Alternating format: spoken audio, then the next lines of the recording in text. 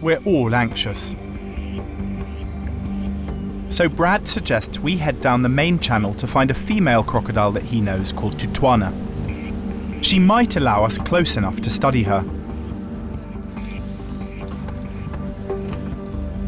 We speed up our entry into the water to attract less attention at the surface.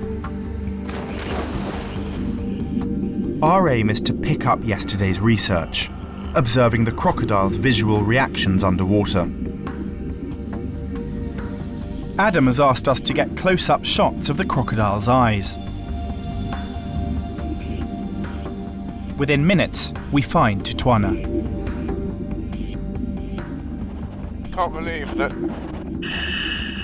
just a couple of feet away from me is a crocodile, a wild crocodile.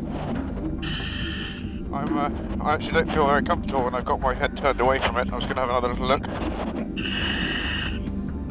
Look at those teeth.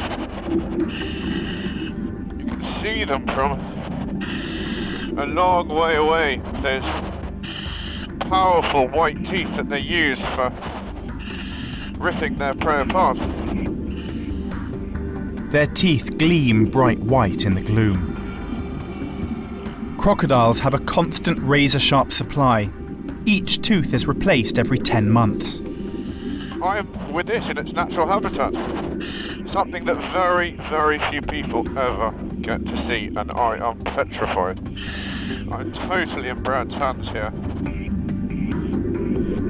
I follow Brad's diving protocol. Keep calm, stay tight to the bottom to avoid looking like prey, and keep out of striking range of her jaws. I still feel I'm too close.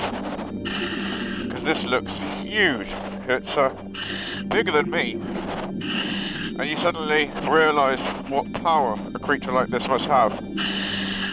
You'd be defenceless. Amazingly, there's no sign that this crocodile will attack us.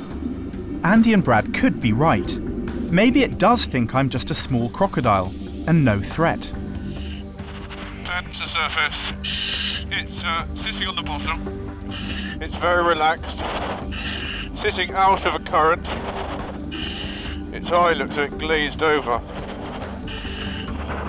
Oh, it's just moving. One second. Oh my god, this is so close. Whoa. Just went straight past my head. Just starting to move. I'm a bit worried it's going to come down towards us. I'm sure it's looking at us. It knows we're here. But I feel certain that it can tell it's being watched.